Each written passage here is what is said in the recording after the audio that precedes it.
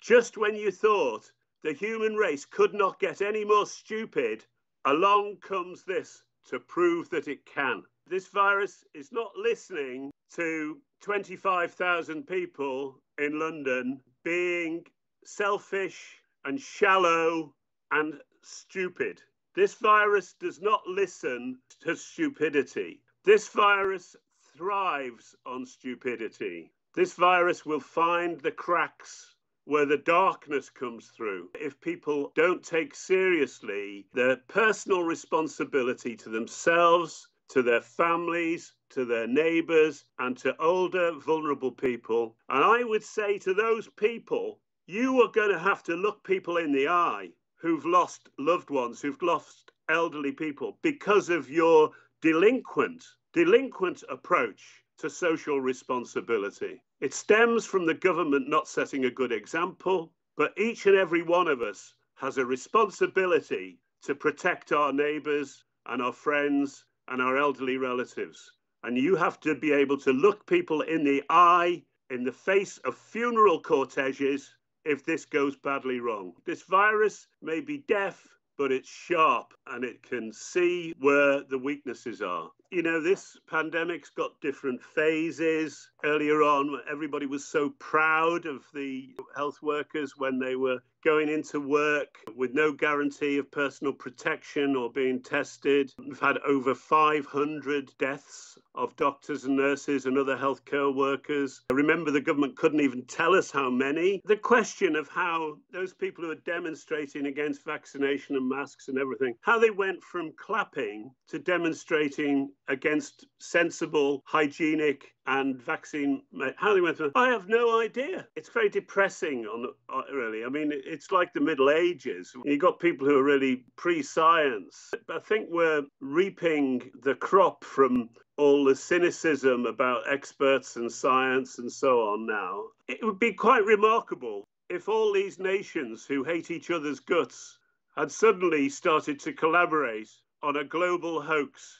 This would be remarkable collaboration and the most stupendous kind. I mean, you know, you might say when you look at how we're running the world with global warming, with pollution of the oceans with plastic, can human stupidity get any more? Well, yes, it can. There's no such thing as absolute freedom in this life. I can't go out on the motorway and drive my car at 100 or 120 miles an hour. Not least I can't do that if I've been drinking. There are limits to freedom. And when the country is threatened, when the community is threatened, like in the Second World War, there were restrictions on freedom. If I was a farmer in the Second World War, I couldn't just keep all the eggs and the meat and the milk for myself. I had to put it into the pool for the rationing for everybody else. That was the nature of wartime. This is wartime. There are constraints on our freedom for the benefit of everybody, including myself. My freedom ends where your nose begins. I wear my mask to protect you. You wear your mask to protect me. This is society. This is reciprocal living. We have to recognize there's no such thing as 100% freedom because that is actually anarchy. At the heart of this pandemic is exposure to the virus from one person to another through mixing intimately, either through aerosol spray from being close enough when someone's exhaling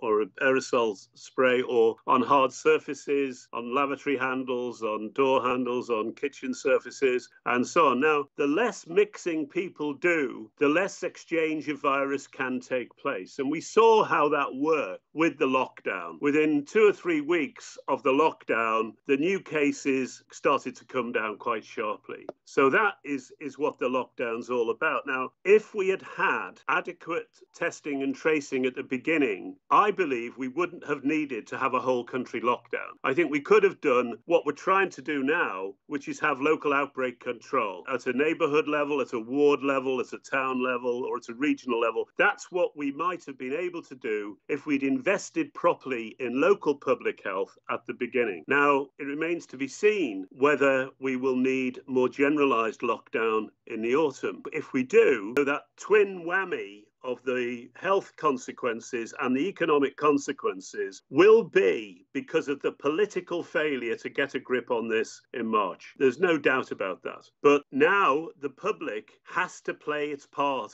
despite the delinquency of the government. We have a problem of a delinquent government and we have a delinquent proportion of the population. And people have to behave themselves, whether they're in government or whether they're just ordinary folk going about their daily lives. We need to commit ourselves to squashing this virus out. We need a, z- a, zero goal like they have in Scotland. We need that zero goal. We can't just accept this virus rumbling along as it has done during the summer and now beginning to pick up. You know, this is bad. This is bad news. It doesn't augur well for what's coming in September, October, November. We've got to really get on top of this virus. Everybody's got to play their part. Hygiene, hand washing, house hygiene, masks, and spacing. Everybody has to play their part.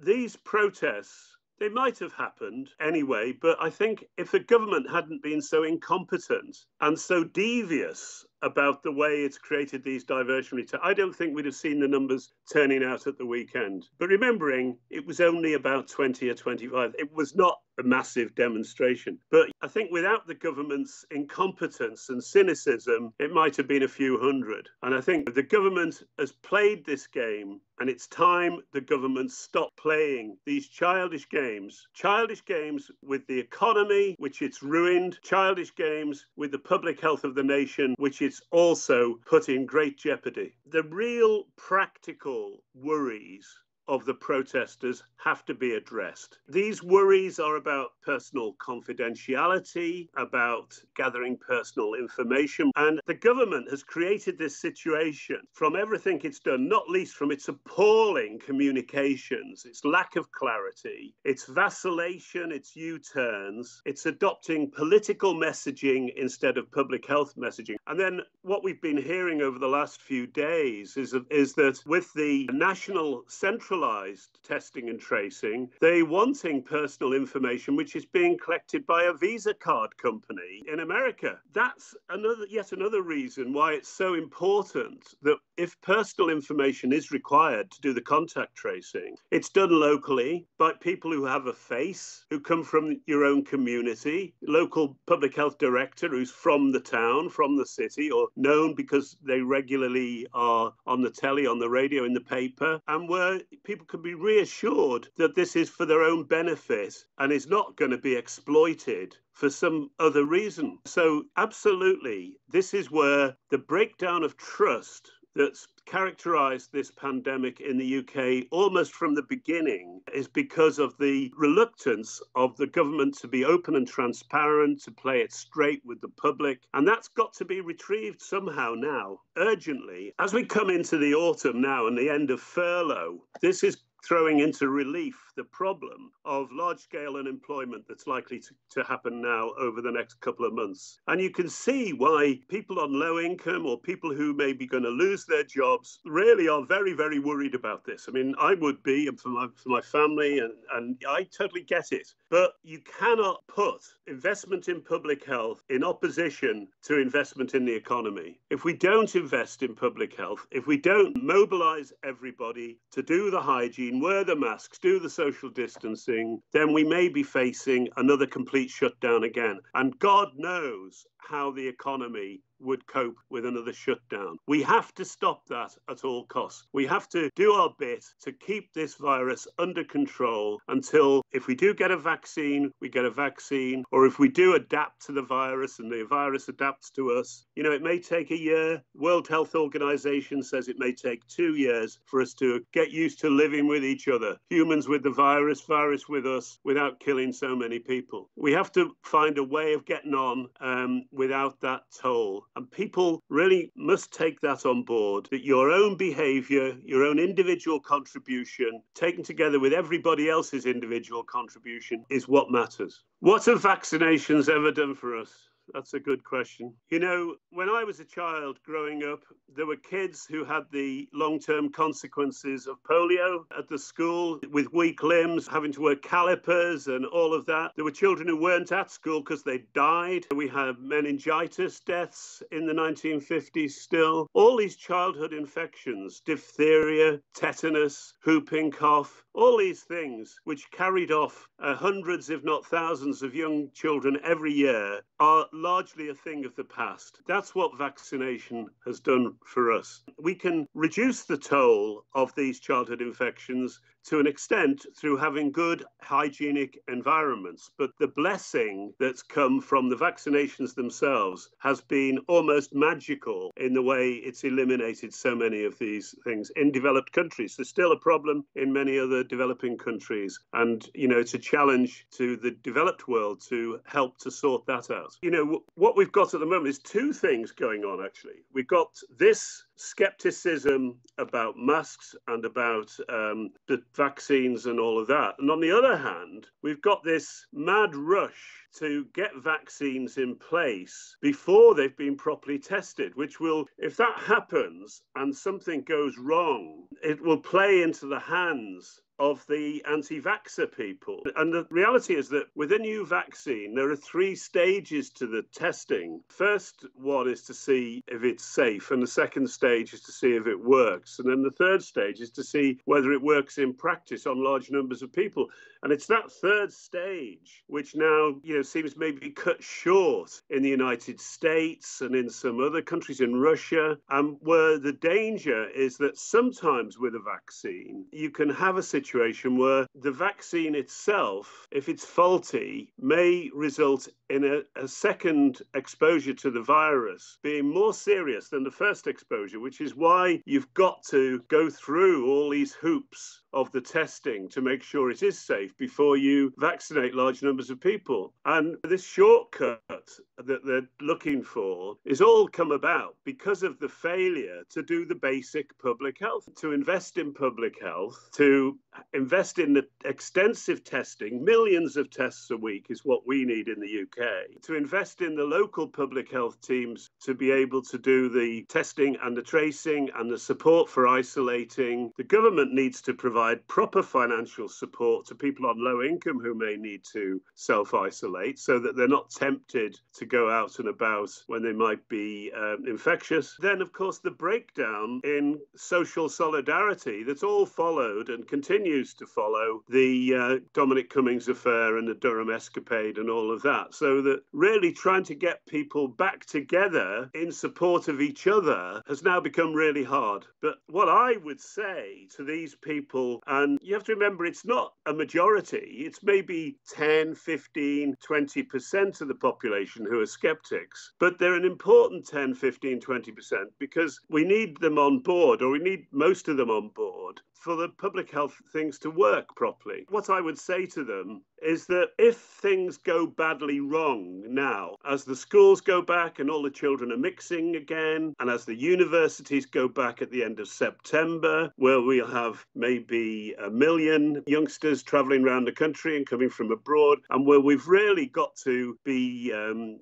confident that people will wear the masks We'll do the personal hygiene. We'll stick to the spacing. And yes, it is two meters that's that's creeping back in. People beginning to realize how important it is to do the two meters. Unless we can do that, then we've already seen over the last few days that the number of new cases each day has been going up quite sharply. It was 1,700 uh, yesterday. It was, I think, about 1,300 the day before. We could be back in the position very quickly where we're getting a doubling every uh, few days, where, where the deaths start again in the autumn. And I would say to those people, you are going to have to look people in the eye who've lost loved ones, who've lost elderly people because of your delinquent, delinquent approach to social responsibility. It stems from the government not setting a good example, but each and every one of us has a responsibility to protect our neighbours and our friends and our elderly relatives. And you have to be able to look people in the eye, in the face of funeral corteges if this goes badly wrong.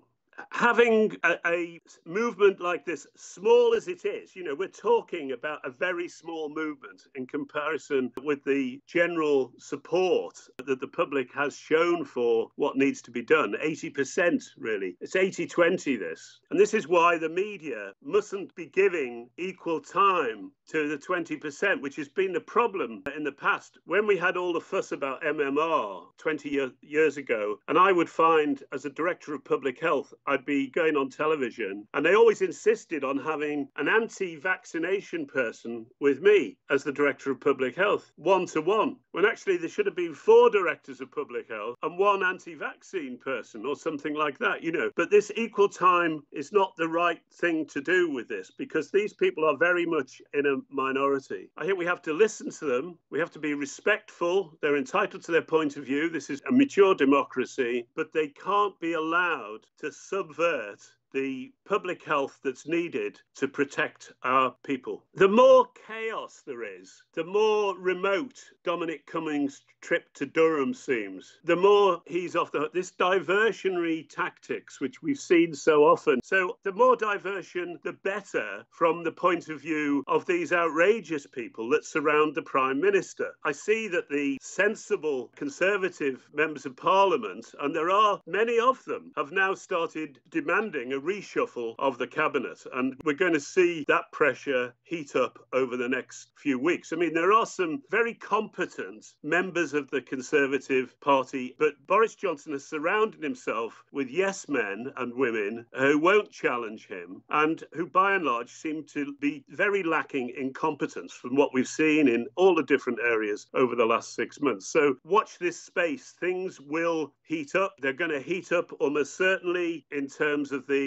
numbers of cases. The numbers of deaths at the moment's not very high. I hope it stays low, but you know, I'm afraid as the daily number of cases goes up, we're going to see more deaths coming through. Things are going to heat up. The economy, if we run to 3 million unemployed come November, if the school situation becomes chaotic, if the university situation becomes even more chaotic, which is highly possible, the political pressures are going to grow. And we really need mature politics with all the parliamentarians involved, not just a party that happens to have a majority of 80. We need mature government, good government, good governance, and it needs all hands to the wheel. They say in the land of the blind, the one eyed man is king. What we're seeing at the moment is false messiahs in the form of political leaders who have cheap, simple, crude solutions to complex problems. And people's anxieties make them vulnerable to uh, fall in behind these messianic people like Donald Trump, like Putin, like some of the other leaders at the moment that have emerged who seem to have the solutions when they don't have the solutions. And in the end, they will be exposed as bankrupt. But in the meantime, what really bothers me is the social unrest that will happen if we don't tackle things rationally, systematically, and get everybody on the same page because the classic fascist and totalitarian approach is to divide people, is to get people fighting each other rather than coming together. That's the only way in which a minority, you know, the fascists in Germany was only a minority, it was only 10 or 20% of the population. But the way in which you get a minority taking control is by dividing everybody else. And that's what we have to avoid. We need good people. We need proper leadership. We need vision. We need humility. And we need leaders who listen to the public and don't think they've got all the answers themselves. We do need faith, hope, and charity at this time because people have had it tough. The kids have had it tough. The mental health of our young people, we've neglected during this. We need to do more about it. We need to have faith that we can come through this. We won't get through this if people behave in a delinquent way and don't take their responsibilities. So we need faith, we need hope, because we have to believe we can come through this and build a better future. But we need to start thinking positively about what that future might look like. And we need charity. We need to support those people now in real difficulties, people who are going to start being evicted from their flats or their houses because that moratorium on evictions coming to an end. We need charity for those who are going to be in poverty, families in poverty, children in poverty. We need that charity towards the asylum seekers and all those in a desperate situation and not as fortunate as many of us. So we need faith, hope, and charity, and we'll get through. We've seen a lot of arguments about the news media, how they've covered this. Some have been good, others have sensationalized, gone along with propaganda. But Double Down News is one of the new kids on the block. Its commitment is only to the truth. You can support Double Down News, Patreon. This is the future. Thanks for listening.